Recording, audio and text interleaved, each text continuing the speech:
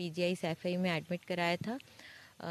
परंतु सभी प्रयास के बावजूद भी बच्चे की जान नहीं बचा सक, बचाई जा सकी।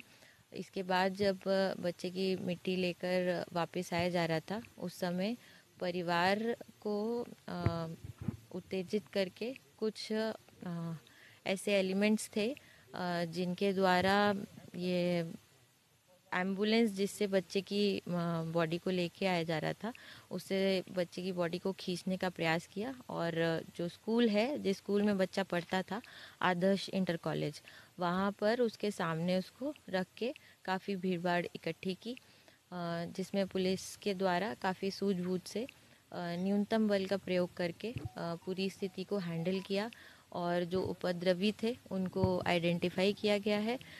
इन सभी को चिन्हित करके नियमानुसार विधिक कार्रवाई प्रचलित है।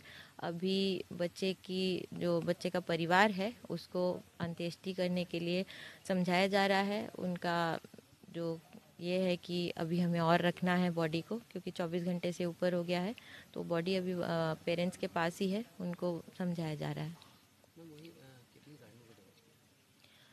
एक गाड़ी उसमें जली थी आ, बाकी तीन गाड़ियों में आ, शीशे फूटे थे क्योंकि काफ़ी वहाँ पे अद्धे पड़े थे जो कंस्ट्रक्शन मटेरियल था वहाँ पे किसी किसी जगह पे और रेलवे लाइन के पास से उठा के आ, जो ऐसे उपद्रवी एलिमेंट्स थे जो परिवार को भड़काने का काम कर रहे थे उन्होंने पुलिस की गाड़ियों पे और आम लोगों की गाड़ियों पर भी पथरा पथराव किया था।